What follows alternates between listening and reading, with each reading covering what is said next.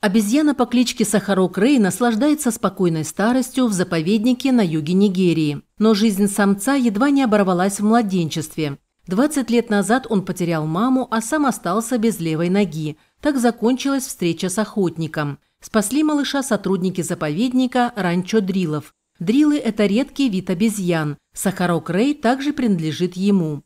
В дикой природе их не осталось и тысячи. В этом виновна деятельность человека, нелегальная вырубка леса, охота и незаконное сельское хозяйство.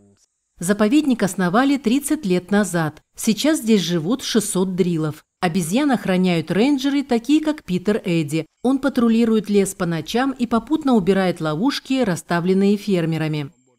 Раньше я на них охотился, но потом понял, насколько важно сохранить животных и перестал охотиться. Я работаю здесь, чтобы сохранить этих обезьян и любых других редких животных. Это очень важно для будущих поколений. В этом районе многие переключились с охоты на сельское хозяйство, но опасность для обезьян сохраняется. Большинство фермеров не прощают диким животным разорения плантаций.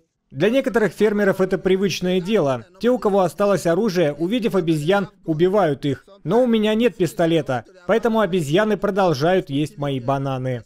В дикой природе дрилы встречаются только в Нигерии, Камеруне и экваториальной Гвинее. В нигерийском заповеднике планируют выпускать обезьян в неохраняемые леса, но для этого надо дождаться увеличения популяции. Подписывайтесь на наш канал и смотрите мировые новости. Мы освещаем факты, а выводы делаете вы сами.